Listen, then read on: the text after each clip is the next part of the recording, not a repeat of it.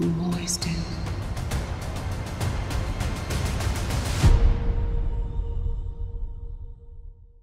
Okay, perfect. Good morning, guys. I'm Julie Big Gold Belt Media. Hello, welcome. I, I I'm so excited to meet all of you right now. Like I'm just like so thrilled. Sorry. Oh, it's, it's, a pleasure to, to chat. Yes. And, and, I'm in California time, so the fact that at 6:30 a.m. I'm excited like this. so thank you so much, and congratulations on Outlander season seven. I am so excited for all of you. That yeah. is amazing. Mm-hmm. Um, so let's go ahead and just get started. So, David, let's start with you. Lord John Grey. We all love Lord John Grey. He's such an amazing character, and you portray him so beautifully. Um, let's be honest, he's been carrying a torch for a certain character, uh, one James Fraser, for such a long time such a long time, um, decades long. That's just like a bonfire this it is. You're right. It's a bonfire. At this point, there's a giant fire. That's all we'll say. It's even like smoke. on this. Like, he doesn't seem. Jamie just doesn't seem to be picking up on it. Not at all. So, do you think it's possible for him to actually, you know, love again or concurrently with someone else? Uh, you know, as you know, when he's carrying this unrequited love for Jamie, do you hope he moves on? Sounds like a great start to a pop song or something, doesn't it? Can, he, can Lord John love again? I want to break out into song. I can see you for that. Yeah. Yeah. Cue Whitney Houston or something. Why not? Like, I look, we have to hold out hope for our characters that they can find love. This show is about love and and and hope as much as it is about like drama and conflict and and the things that you know make. Well, there's all kinds of colors here, and and um, Lord John, yeah, he has uh, an unrequited love for Jamie that mm-hmm. um, I think propels him through, has propelled him this far through Outlander. Um, right. But I think we're going to start to see a little bit of testing of that that um, thing that's propelled him this far. Um, certainly, the relationship changes a lot this season, uh, and uh, I was going to say for better or for worse, much like a marriage. Um, he kind of hits his his low point there. He, he mm-hmm. definitely hits a low point this season, and uh, Jamie Fraser's not quite the uh, the man that he thought he was, or didn't doesn't hold that starry eyes for Lord John as much as he used to.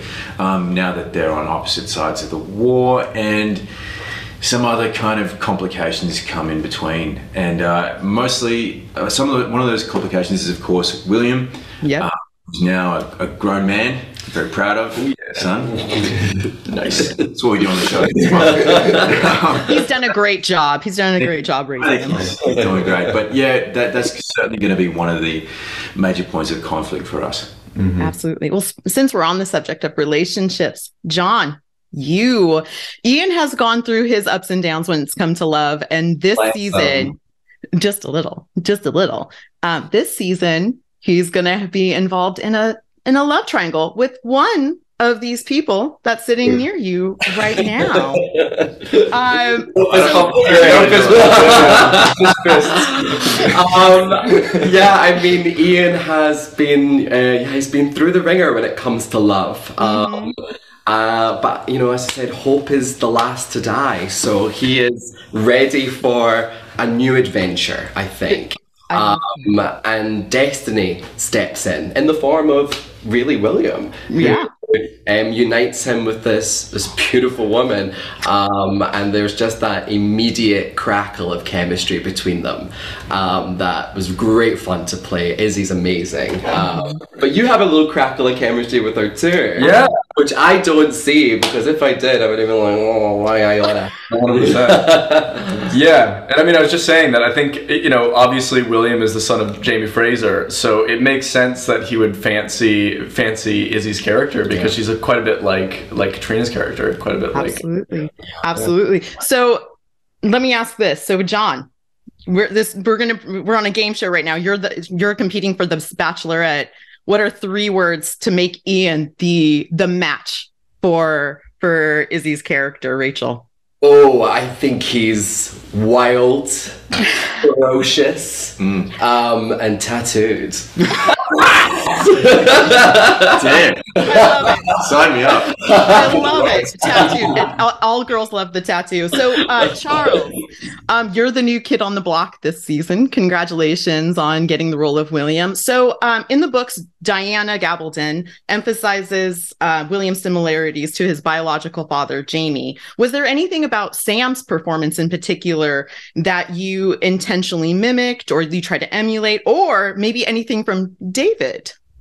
Yeah, 100%. I think um, there's definitely some mannerisms that, that William has that, that Jamie also has. Um, and I think a lot of his personality, his fieriness, his passion um, comes quite a bit from Jamie.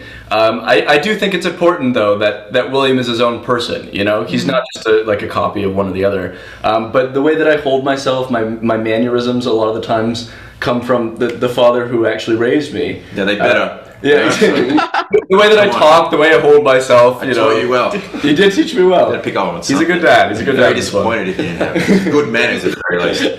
He's he gonna, has two he has two strong men so that's that's amazing well gentlemen thank you so much i really appreciate the time and congratulations once again on outlander season 7 outlander season 7 premieres on STARZ june 16th once again guys thank you so much i really appreciate it Oh, we have. I have a question. What's um, gold buckle? What is that? big gold belt media actually i'm doing this for a friend so he has this You don't even You know. don't even know. all of it. So he was like, "Hey, you want to interview them?" And I'm like, uh, "I get to meet these guys? Uh, yeah, thank you. I don't care if I have to wake up this early in California. I'm gonna do Wow. it." Well, thank you. We're waiting for our big gold belt. Yeah, I want a big gold. That's buckle. amazing. There we go.